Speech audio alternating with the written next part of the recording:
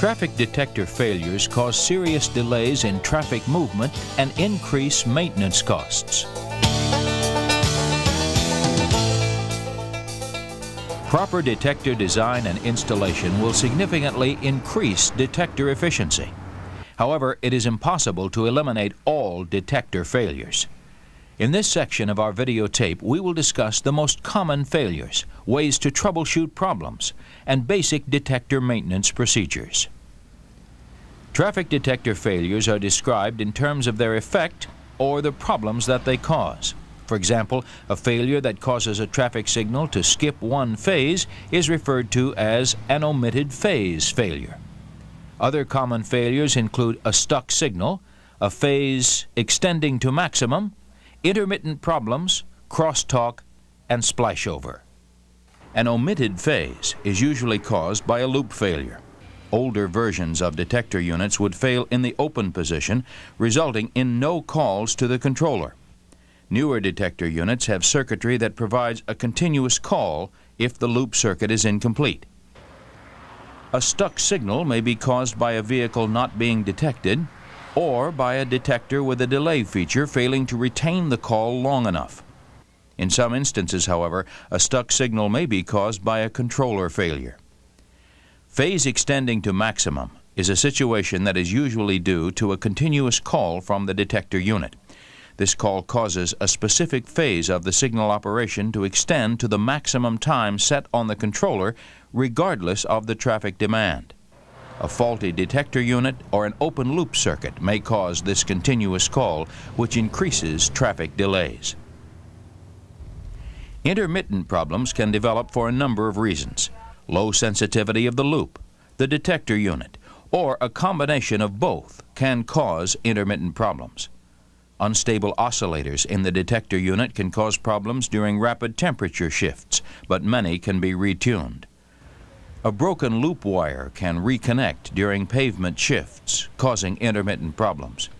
External devices installed for lightning protection can be damaged by a power surge and cause these problems. Finally, ghost problems. An intermittent operation breakdown for no apparent reason can require the replacement of a detector unit. Crosstalk is another type of detector failure occurring when the frequency of one loop installation is influenced by another. This frequency lock between two oscillators can be caused by poor quality connections in the loop system, field coupling due to the closeness of two loops, coupling between two closely spaced lead-in wires, coupling between lead-in cables sharing the same conduit, or the coupling between closely spaced harness wires from the field terminals to the detector. Crosstalk can produce a false detection when there is no vehicle in the detection zone. It can also result in a lockup after a vehicle detection.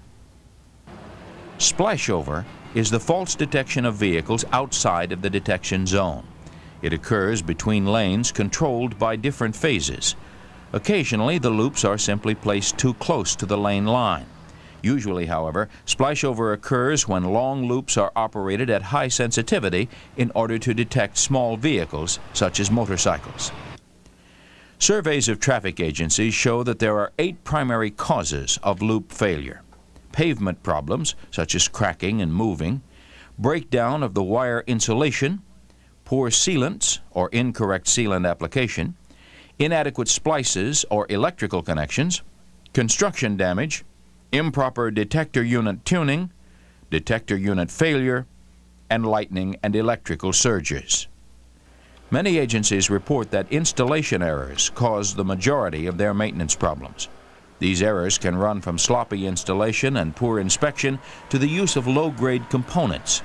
Agencies who contract out their detector installation should apply strict pre-qualification guidelines to avoid awarding the contract to an inexperienced contractor. Next, these agencies should inspect the contractor's work carefully to catch any errors or potentially troublesome shortcuts.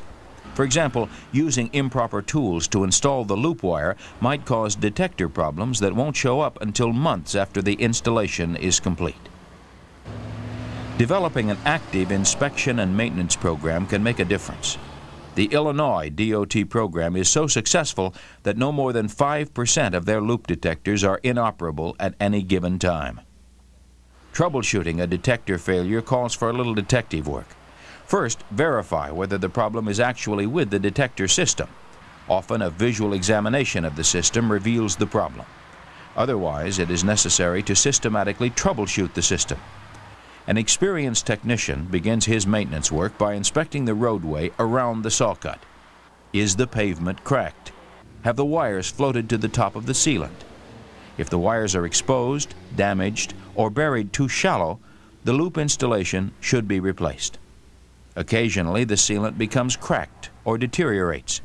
This is a problem for agencies in states that frequently salt the streets and use snow removal equipment. Unstable sealant should be removed, the slot blown clean with compressed air and a new sealant applied. Potholes within the loop area should also be repaired. Some agencies use a cold mix compound to patch the pavement. However, this should be considered a temporary measure. To decrease detector failures due to these loop wire problems, visually inspect saw cuts every six months. Another maintenance situation occurs when a loop cannot detect a vehicle due to insufficient sensitivity. Usually the loop's inductance is too low, and the technician can measure this with one of a number of test meters. Low inductance can be caused by too few turns of wire, the shorting together of the wire turns, or the steel mesh in the road reproducing a shorted turn effect. In a multiple loop configuration, the defective loop can be eliminated, which temporarily corrects the problem. Or consider connecting multiple loops in series or series parallel to maintain an acceptable inductance. Crosstalk can be a particularly bothersome maintenance problem. Your handbook offers detailed information concerning this maintenance headache. Let's take a look now at a few of the common crosstalk causes and solutions. First, poor quality connections in the loop wiring can cause crosstalk. The solutions focus on upgrading these connections, such as using high-quality soldered joints. Physical closeness of two loops can cause crosstalk through field coupling. Consider frequency separation or the use of multi-channel multiplex detectors to solve this problem. Two closely spaced lead-in wires coupling can create crosstalk. Solutions include routing the wires in separate slots and twisting the loop wire pairs a minimum of five turns per foot. Coupling between lead-in cables sharing the same conduit can cause crosstalk. This problem can be corrected several ways, including the use of individual, shielded, twisted pair cables. A potential solution is the three-terminal method described earlier that requires the grounding of each lead-in cable separately. The coupling of closely spaced harness wires from the field terminal to the detector can create crosstalk. Using twisted wire pair or using shielded twisted cable with proper grounding is the solution. A general procedure for identifying which detector unit is crosstalking begins with the disconnection of all detectors except the suspected unit. If no new false calls or lockups occur, then the crosstalk is coming from another unit. Reconnect one unit at a time until the crosstalk begins again. Once the problem unit has been identified, it can be repaired. Once you have eliminated loop problems and crosstalk as the basis for a detector failure, consider replacing the detector amplifier unit. The substitution of a new amplifier for a malfunctioning detector is possible if both units have the same characteristics and quality. There are several operational checks you can conduct before replacing a detector unit you suspect of malfunctioning. Using a maintenance vehicle and a vehicle simulator, you can analyze adjacent lane detection, motion in the loop wire, intermittent detection, and the sensitivity of the loop system. Adjacent lane detection is a problem associated most often with the use of long loops, such as those used in left turn lanes. To test a loop, maneuver your maintenance vehicle close to the lane. Monitoring the detector unit, adjust the sensitivity to stop the loop from detecting the maintenance vehicle. Then check the loop to ensure that it can still register small vehicles in the detection zone. For details on other solutions, such as changing loop configurations, consult your handbook. Intermittent detection problems can develop from a number of malfunctions. To identify the cause, drive your maintenance vehicle over the loops you suspect are malfunctioning. These intermittent problems should appear if you repeat the test several times while monitoring the detector unit. Another technique requires visually inspecting all connections and testing the system with a 500 volt Megger and a low ohm mid-scale ohm meter. Electrical as well as operational tests can be performed to help identify the cause of a traffic detector malfunction. Basically, there are four devices used to analyze loop systems. A Megger, or high voltage resistance tester for measuring insulation resistance, a frequency tester, also called an inductance meter for measuring inductance, a digital volt ohm meter for measuring series resistance, and a low ohm mid-scale ohm meter for measuring the dynamic change in series resistance. Both low resistance to ground and high series resistance are major factors in loop system malfunctions. Low resistance to ground can occur for several reasons. For example, it can result from poor insulation on the loop or lead-in wires, from the inadequate sealing of splices, or from exposed wires. High series resistance can be caused by poor splices, corroded or loose screw terminals, poor crimping, or incorrect wire size. Detectors with a high series resistance problem are sensitive to humidity, temperature, and vibration. Both resistance problems can cause drifting and false calls. Refer to your handbook for a table detailing these and other common loop malfunctions and their probable causes. As we have discussed, identifying the source of a loop detector malfunction or failure can be an involved, sometimes difficult process. In this section, we have covered several ways to troubleshoot loop detector system problems and isolate their causes. To summarize and to simplify the maintenance process, we recommend performing step by step these following tests during a maintenance call. Step 1. Visual inspection. First, check for damaged loop or lead-in wires. Then, look for open leads within the controller cabinet, as well as the availability of power to the detector. Step 2. Check the detector unit. If you suspect a problem, replace the detector unit with a similar functioning unit. If this does not improve the system's operation, reinstall the original detector unit and proceed with the next test. Step 3. Measure the Q factor. Measure and record the information requested on the quality or Q data form. For example, measure the resistance from either loop terminal to the bus or conduit ground. Record this value on the form. Then check for series continuity between the terminals, and so on. Step 4. Determine Q. Following the procedure described in your handbook, determine the Q factor of the loop system and record the results on the Q data form. Step 5 measure the sensitivity of the loop system. Using one of the two methods detailed in your handbook, measure the system's sensitivity.